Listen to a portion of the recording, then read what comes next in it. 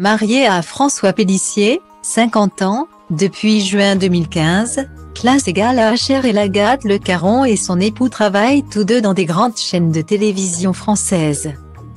Président exécutif de TF1 Pub et directeur des sports du groupe TF1 et président de TF1 Entertainment depuis 2019. Le mari d'Agathe avait intégré le groupe TF1 en 1995 au sein de la direction marketing. Six ans plus tard, il devenait le directeur du pôle marketing avant d'être nommé directeur adjoint parrainage et diversification du groupe en 2006 tour à tour directeur général délégué de TF1 Production, directeur général délégué de TF1 Production en charge des départements sport.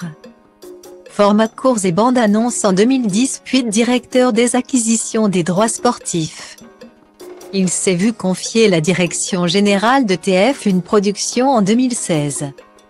De son côté, Agathe Le Caron a également travaillé pour le groupe TF1 à partir de 2011 avant d'être embauchée dans le magazine On n'est pas des cobayes sur France 5.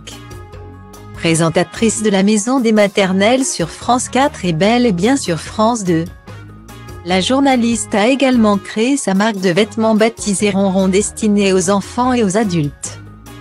Maman de Gaspard, née en mars 2014, et de Félix, Née mai 2016, la jolie blonde avait confié au magazine Magique Maman comment elle avait choisi les prénoms de ses deux garçons, c'est en regardant un téléfilm avec Christian Vadim dans lequel il s'appelait Gaspard que je me suis dit tiens.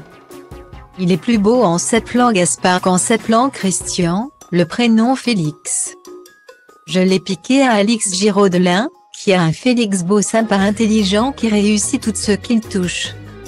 Je veux le même sur Instagram, Agathe partage régulièrement des clichés de ses enfants mais garde secret le visage de son époux qu'elle recouvre toujours avec des emojis en forme de cœur.